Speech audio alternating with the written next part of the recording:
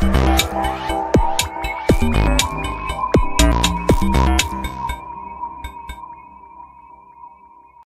everyone, welcome to this psychology lecture series.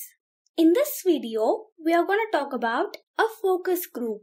A focus group is a form of qualitative research in which a group of people are asked about their attitude towards a product, concept, advertisement, idea, or packaging. Questions are asked in an interactive group setting where participants are free to talk with other group members.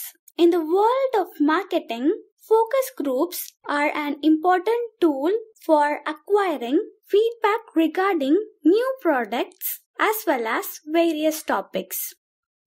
Let us now discuss about some of the types of focus groups. In two-way focus group, one focus group watches another focus group and discusses the observed interactions and conclusions. In dual moderator focus group, one moderator ensures the session progresses smoothly while another ensures that all the topics are covered. In dueling moderator focus group, two moderators deliberately take opposite sides on the issue under discussion.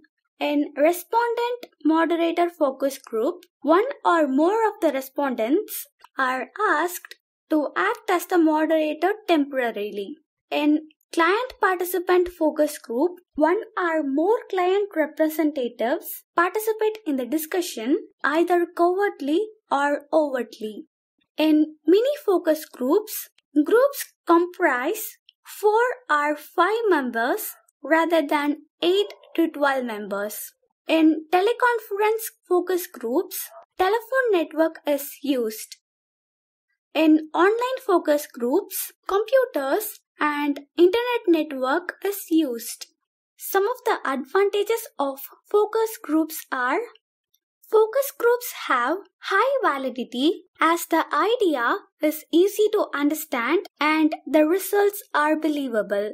Also, they are low in cost as one can get results relatively quick and they can increase the sample size of a report by talking with several folks at once.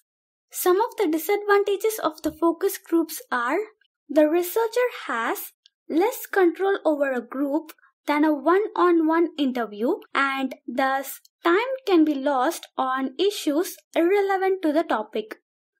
The data can be tough to analyze because the talking is in reaction to the comments of other group members and groups are quite variable and can be tough to get together. I hope you like this video. Please share these videos with everyone who is preparing for this exam. Thank you.